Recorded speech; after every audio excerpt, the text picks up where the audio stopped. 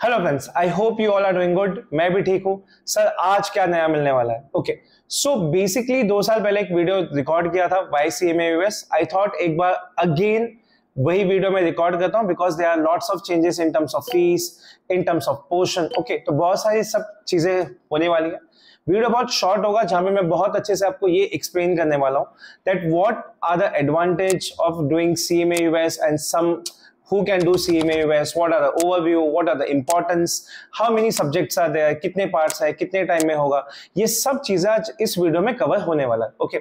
Now let me tell you about uh, कि ये video कैसा होगा. So generally as a counsellor जैसे जो आपको सिखाता है सेम उसी वे में मैं आपको इस वीडियो में पूरा अच्छे से एक्सप्लेन करने वाला हूँ okay now the first point which we are going to discuss about the overview of the CMA US CMA US is itself a certified management accountant of USA, which is issued by Institute of Management Accountants IMA. Sir ये थोड़ा सा बहुत ज़्यादा हो गया। Now please tell us in something simple language okay let's say for example India में जैसे chartered accountants होते हैं सेम ऐसे यूएसए में सीपीएस होते हैं। लेट्स से इंडिया में सीएमएस या सीडब्ल्यूए होते हैं वैसे ही यूएसए में सीएमए यूएस होता है। So in this video, we are going to discuss about the CMA US, which is Certified Management Accountants. I'm repeating this again. Okay. Now, sir, what are the importance? Okay.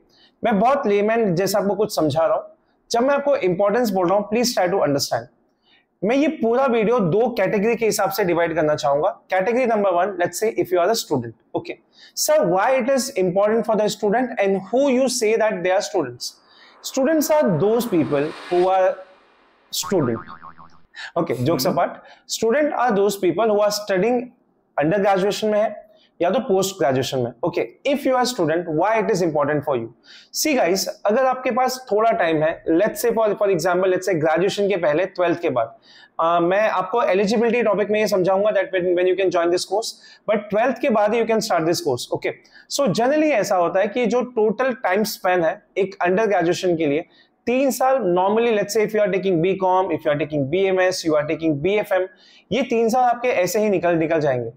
Okay but what I am trying to convince you at this point कि इस तीन साल में अगर आपने एक साल में इन्वेस्ट करके अगर सी में यूएस कर लिया this will boost your resume okay and if you are fresher also this will give you I can say good advantage in the corporates. Now, let's say for example, sir, if I'm a graduate and if I want to pursue this, then what will be the benefits? Obviously, yes.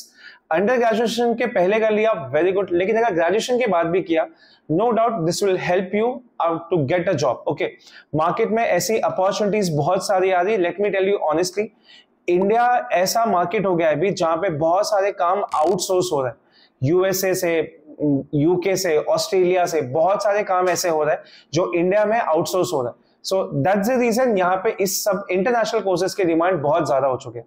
Now let's say for example sir category number two which are professional students अभी जब भी, भी कोई professional students में से inquiry जब कुछ पूछता है मुझे I generally ask them sir what is your objective okay normally ऐसा होता है कि हर एक इंस्टीट्यूट में काउंसलर आपको अच्छी चीज़ें बताएगा। मैं सामने से लोगों को पूछता हूँ sir why you think that this will be good okay now, कुछ reasons बहुत ही क्लियर होते हैं. Get promoted. That's the reason I want this. Yes, of course it is good. Second case और let's say I want to work in US जहाँ पे ये degree बहुत इंपॉर्टेंट मैटर करता है. सो आई ऑलवेज रिकमेंड कि yes boss you can go ahead with this तो professionals की लाइफ में जिसके पास ऑलरेडी एक जॉब है यस प्रमोशन या फिर आपको कहीं पे शिफ्ट करना है these all the things will give you the benefit okay so so, मैंने यहाँ पे आपको छोटा सा एक इंपॉर्टेंस दे दिया that how you are going to do this okay and why it is important for you next part आता है parts of CMA now please try to understand मैं यहाँ पे पार्ट्स बोल रहा हूँ. There is a difference between two things part and level okay जब आप सीएफए की बात करते हो let's say Indian chartered accountancy की बात करते हो there is a levels let's say for CFA, if you are cl uh, getting clear level one, obviously you will go on level two, you will go on level three, then you will become a CFA. Same in CA, obviously you will give uh, CPT मेरे time पे CPT था. Okay okay, अभी foundation हो गया intermediate हो गया then CA final then you will become CA sorry CA but यहाँ पे क्या होता है? When I talk about CA में obviously there are two parts part one and part two these are not levels means let's say if you want to crack part two first easily you can do it आप आराम से part two पहले कर लो then you can go on part one जैसे ही आपका part one and part two clear होता है you are CMA US affiliate. Okay, CMA US affiliate. Now let's go ahead about eligibility. जब मैं एलिजिबिलिटी की बात कर रहा हूँ see try to understand CMA US की डिग्री के लिए you need first of all graduation of from any stream okay next you need two years of work experience जैसे आपका दो कॉम्बिनेशन हो गया let's say you are are a graduate and you have a two years of work experience in the finance field you are going to get CMA US degree now my point is आप पूछोगे sir आपने पहले बोला twelfth के बाद you can start this course और आप अभी बोल रहे हो that you need a graduation ऐसा कैसे चलेगा? Okay now please try to understand examination देके आप पास हो सकते हो ग्रेजुएशन के पहले। You will be called as a CMA affiliate आप ब्रैकेट में ये लिख सकते हो that you are awaiting your licence जो आपको दो साल के वर्क एक्सपीरियंस के बाद ही आपको वो डिग्री मिलेगा।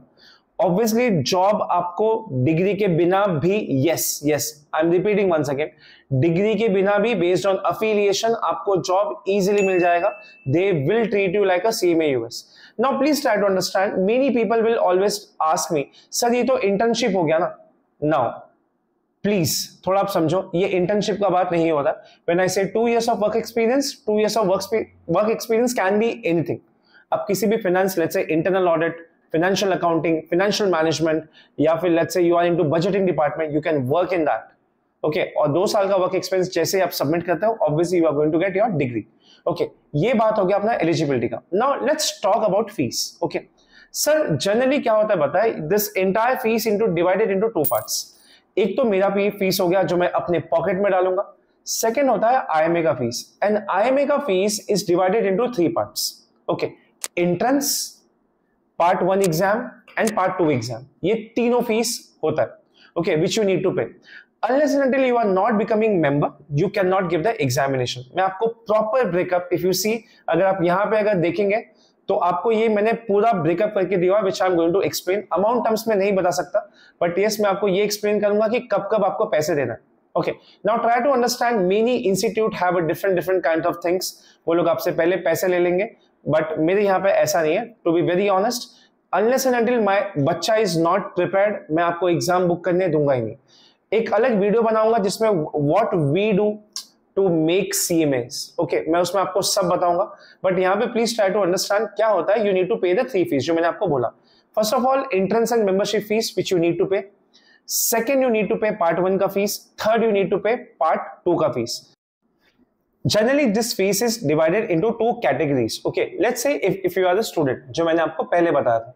If you are student then obviously आपका जो टोटल खर्चा आएगा based on the I M A charges आप अज्यूम कर सकते हो with discount this will go till sixty to seventy thousand but let's say if you are a professional आपको थोड़ा सा सिंस यू आर अर्निंग तो आपको थोड़ा सा इन्वेस्टमेंट डालना पड़ेगा and this will go till one lakh okay so majorly student और जो प्रोफेशनल के फ़ीस का डिफरेंस होता है which I M charges it's nothing but thirty two thirty five thousand अब normally people will ask me sir आप क्यों ऐसे बोल रहे हो? Why you are not giving a specific amount why i'm not giving a specific amount because ima usually give discounts okay so uh, to be very honest even we have filed as an approved partner so we are going to become soon approved partner even we are going to get some extra discount but usually ima give discount to everyone okay generally it can be 50% or it can be 40% so that's the reason if it is 50% obviously आपको 30 30000 का gap मिल जाएगा let's say if it is 50% then obviously वो थोड़ा सा बढ़ जाएगा discount तो आपके पैसे थोड़े सेव सेव हो जाएंगे ये पार्ट था फ़ीस का जिसके लिए मैं अलग से भी कुछ आपको समझाऊँगा। बट यहाँ तक आपको जस्ट जस्ट मैं आपको बता रहा हूँ कि दो फ़ीस स्ट्रक्चर है student and the professional now finally जब मोस्टली पीपल लोग हमेशा मुझे ये पूछते हैं कि sir what about the placement generally आप मुझसे जब भी, भी आप काउंसलिंग लोगे I always tell always tell people कि भाई मेरे यहाँ पे प्लेसमेंट का कुछ भी नहीं होता है बट मेरा पहला काम होता है दैट माई बच्चा should get clear the exam हाँ after the clearing, that is my responsibility. I have worked in a kpmg from last seven years. After that, i had started this. मेरा जितना भी नेटवर्किंग है, मैं अपनी जान लगा देता हूँ तो जस्ट मेरा बच्चे कम से कम माय स्टूडेंट्स के लिए, ताकि उनको एक प्रॉपर अच्छा जॉब मिल पाए। Okay so I am not going to use that cheesy words for you professional words जो भी है, मैं ब्लेंडली आपके सामने समझा रहा हूँ। नाउ ये तो बात हो गया जॉब अपॉर्चुनिटीज़ का। Now major concern is sir exam exam का क्या? Okay please try to understand exam कैसे होता है? जनरली मैंने आपको बताया था पार्ट वन का पार्ट टू का एग्ज़ाम होता है। दो दो बार का एग्ज़ाम देना है आपको। Now I will I am I am just explaining you exam का पैटर्न क्या होगा। Okay total 500 marks this 500 marks will be divided into 400 and 100 जब मैं 400 मार्क्स की बात कर रहा हूँ this 400 marks will be divided into 100 MCQ okay multiple choice questions now please try to understand यहाँ पे ना आप लोग नाचने मत लगना। That boss we are so happy that MCQ आएगा एमसीक्यू आएगा। It is not a cake walk आपने बहुत सारी जगह पे ये वीडियोस में देखा होगा this is very simple course कुछ नहीं है। Okay this will take your efforts because international level का एग्ज़ाम है।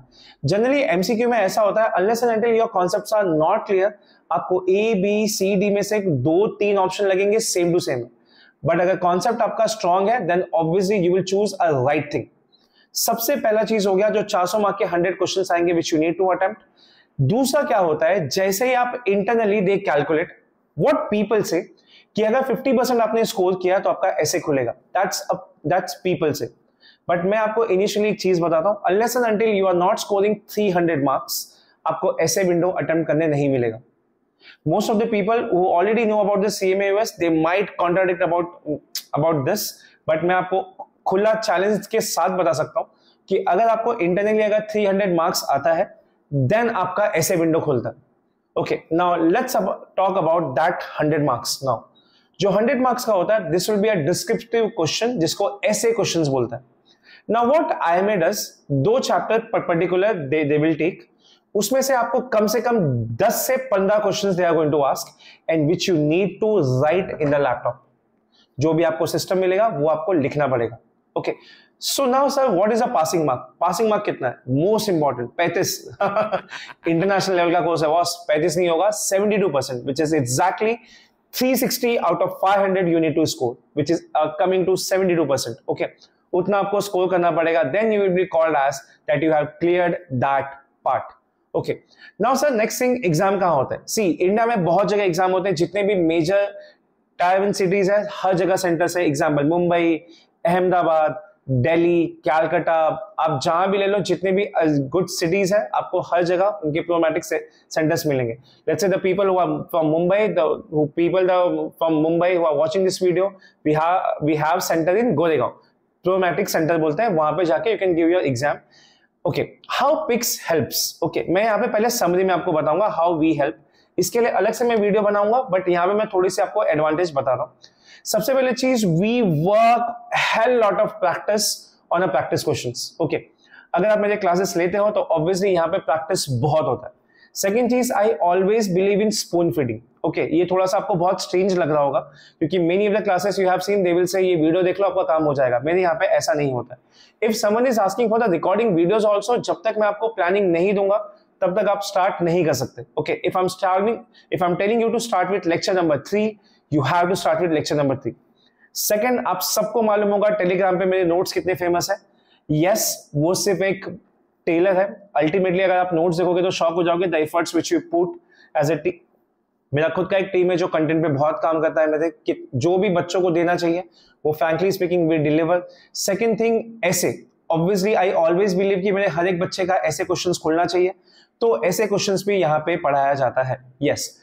And second the most most important thing is mock test mock test mock test you have to give mock test जितने बार आप mock test दे सकते हो आप उतनी बार दोगे सबसे पहले बात सेक्शन वाइज आप मॉक टेस्ट दोगे जैसे ही आपका सेक्शन वाइज होगा उसके बाद आपको फुल मॉक टेस्ट देना देना पड़ेगा unless and until i am not recommending you to give exam you are not going to give exam sorry sir. Yes. Unless and until i'm not approving you to give exam you are not going to give the exam. मेरे यहाँ पे control सिर्फ़ मेरे पास है obviously because I generally think कि अगर मेरा बच्चा डिजर्विंग है तो वो पास होके आएगा। ओके okay, ये छोटे से वीडियो में मैंने आपको बहुत सारी चीज़ें बताई है। अभी नेक्स्ट वीडियो में आपको जो भी आपको मिलेगा उसमें आपको मैं कंटेंट समझाऊँगा व्हाट आर द कंटेंट्स जहाँ मैं चैप्टर्स के बारे में बहुत अच्छे से आपको डिस्क्राइब करूँगा कि किस चैप्टर में क्या क्या है। Please watch out that, that video and please like, subscribe to my channel. Thank you so much for watching this video.